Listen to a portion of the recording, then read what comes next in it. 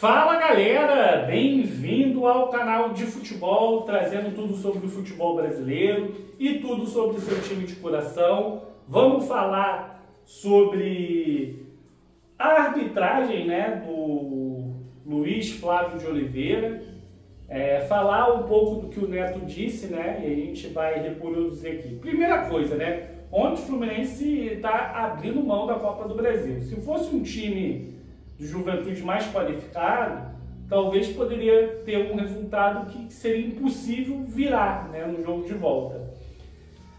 Então é, é uma escolha que eu não acho correta. Acho que o Fluminense tem capacidade de jogar mais, botar os titulares e buscar também a saída da zona do rebaixamento.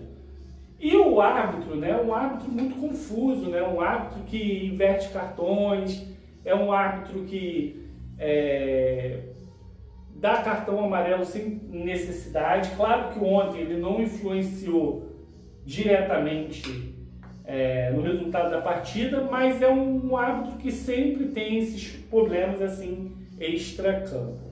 É, enfim, as duas equipes reclamaram, o Neto falou muito sobre isso, sobre a arbitragem, a CBF, e infelizmente a gente sabe que aqui no futebol brasileiro nada muda, né? O árbitro ele sempre vai ser é aquele cara que vai ter a palavra final e ele não vai justificar os erros dele. Por que eu digo isso? Porque se um árbitro erra, ele não é cobrado, ele sempre vai estar na próxima escala.